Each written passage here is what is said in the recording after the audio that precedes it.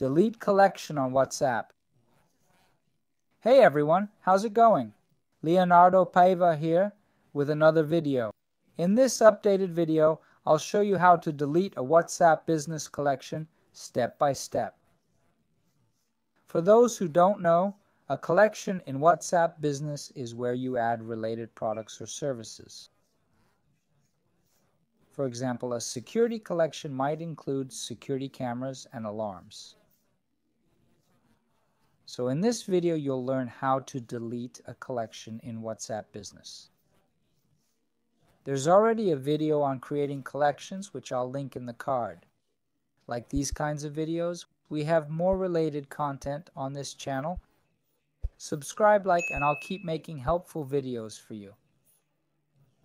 Alright folks, let's get started.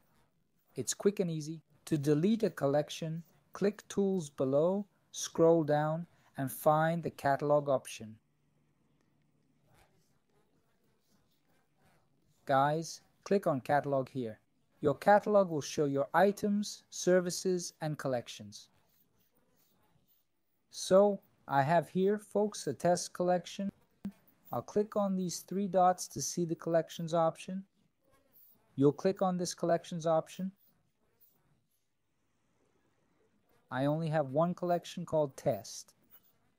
I'll select it, click on it, and a trash icon will appear. Just click the trash icon and then delete.